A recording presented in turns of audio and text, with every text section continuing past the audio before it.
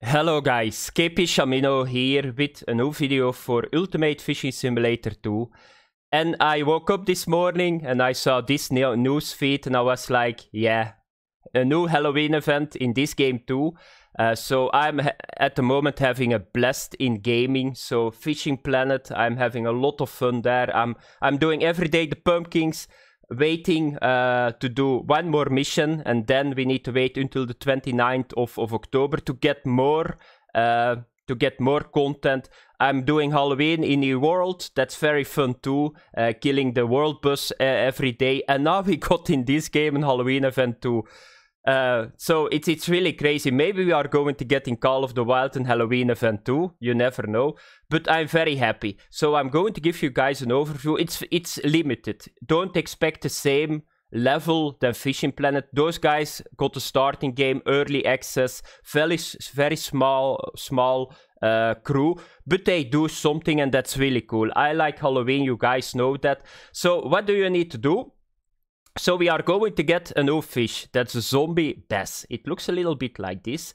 And we are going to get a new map. Not a new entire new map. A new area in Jackson Park map. And uh, you will see pumpkins over there. You already can see it here on the on the pictures. A little bit later they got other pictures too. And that's where you can get the zombie fish. We are going to get a lure to get the zombie fish. So that means that people that buy the game start leveling can do it right away because it's in the starting zone. That's very good. And if you catch a certain amount of those zombie bass, you get three rewards. So you can see it here, five zombie bass caught, you get the pumpkin floater. 25 zombie bass caught, you get the Halloween reel. And 50 zombie bass caught, you get the Halloween rod. And what I thought by the first impression, can I put the zombie fish in the aquarium? That would be so cool because you can keep that zombie fish the entire year then. It's every day a little bit Halloween then.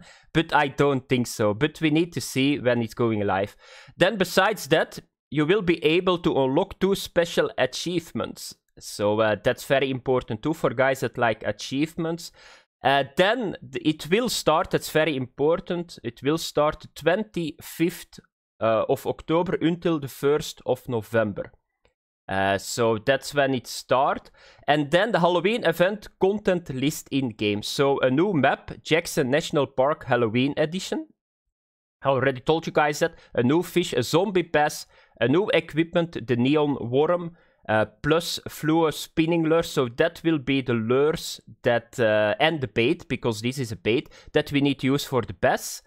And then a new achievement, the two achievements that we uh, got here. And then here the prices. And here are a little bit in-game uh, pictures that you guys can see. And then another thing is uh, they are reworking the maps too. Uh, so new map rework fixes should be released next week. So keep an eye on the updates. Big map overhaul. So here you can see it. I think that's the Jackson Park too. So that's really good. So uh, I wanted to share that with you guys. The 25th of October. I'm not sure.